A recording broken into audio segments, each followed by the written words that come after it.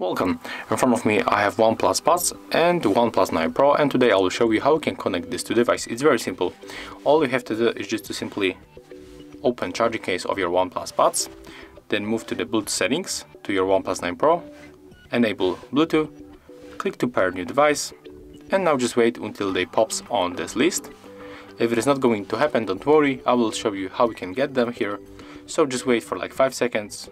1, 2, 3, four, five.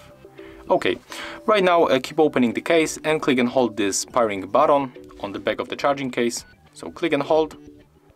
When this indicator is blinking, you can release that key. And as you can see, after a few moments, our OnePlus buds are available. So we have to simply tap on them.